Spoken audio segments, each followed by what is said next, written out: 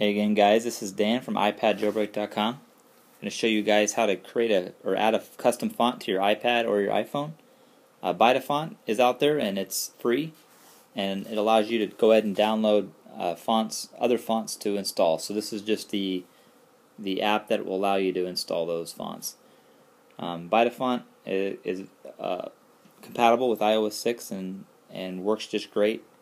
Uh, as you can see I have a custom font here and the one that I have installed is this Tom SK font. You'll, as you see when you're, you'll get new updates. The the TT here, this one right here is, is a font, as you can see.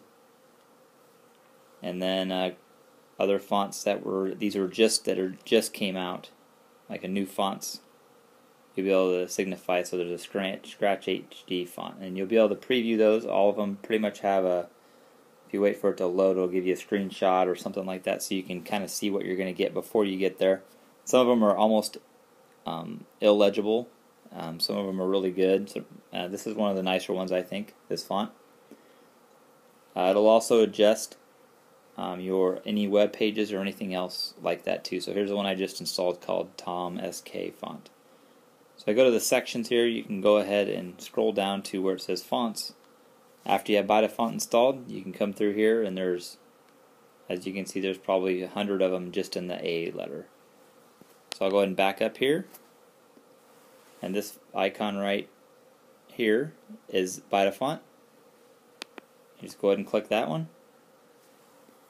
And as you can see, I have three different fonts right now. This is Sweet, actually it's Sweet Cheeks that I have that have on here right now.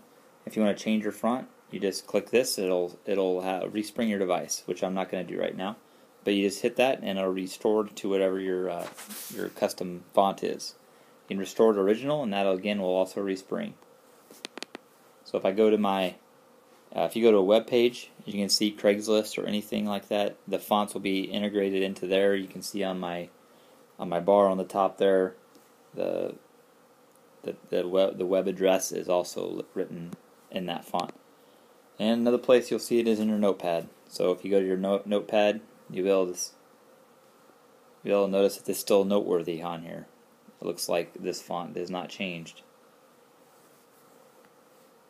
Let me see if I type something new if it changes it. No. The keyboard font is different, but the notepad itself is not appear to be the new font.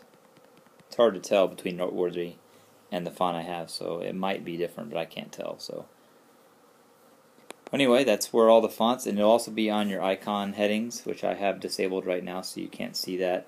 Um, but you can see it on my lock screen here. The time and everything else in my uh, my 100% and all that stuff is also in that font. So uh, I guess that's about it. Um, just go ahead and download BytaFont, and you can actually just go right to the app here. And as you can see, there's other things along the bottom.